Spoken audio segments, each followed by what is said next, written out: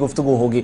अब बात जरा जम्मू कश्मीर के तरक्याती मंसूबों की भी करते हैं, क्योंकि वजर आज़म का एक ट्वीट आया है, जिसमें जम्मू कश्मीर की बात उन्होंने कही ही, लेकिन साथ साथ वजारत रेलवे के कामकाज की भी सताइश की।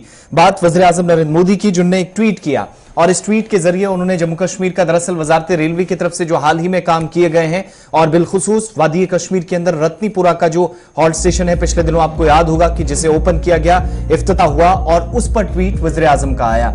इस वो जो वहाँ की तस्वीरें थी रत्नीपुरा की वो ट्वीट की गई हैं मिनिस्ट्री ऑफ़ रेलवेज की तरफ़ से। तो उस पर रीट्वीट करते हुए वजर आज़म ने कहा कि जम्मू कश्मीर के अंदर इस वक्त एक तो वजारत रेलवे रेलवे का जो काम है उसको पीएम ने सराहा। लेकिन ट्वीट के ज़रिए ये वो ट्वीट है जिसमें उन्होंने जम्मू कश्मीर के आ, कहा कि रबता मजीद गहरा हो रहा है।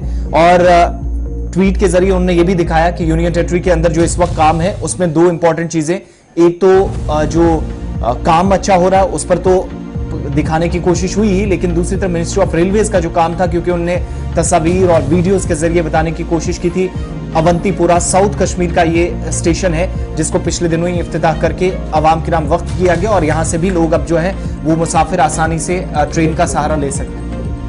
सहारा ले सकते हैं। तो वो तस्वीरें शेयर की गई थी मिनिस्ट्री ऑफ़ रेलवे की तरफ़ से तो उस पर वजी आज़म की तरफ़ से ट्वीट थपथपाई गई है। Good news for deepening connectivity on railway network in J and K तो एक तो ये, बिलखसूस कश्मीर का ज़िक्र किया गया। और सबसे इंपॉर्टेंट चीज़ कि रत्नीपुरा के स्टेशन के खुलने के बाद एक कसीर आबादी को, जो मुख्तलिफ़ इलाकों से सर्दन पार्ट से, जनूबी इलाकाजात से आती थी, उनको राहत मिली है। तो उस पर मिनिस्ट्री ऑफ़ रेलवेज ने अपना काम मुकम्मल करने के बाद ट्वीट किया। उस पर वजी ने पीठ थपथपाई और रवाबित मजीद गहरे हो रहे हैं। इसके लिए भी वजी की तरफ़ से बात ट्विटर के ज़रिए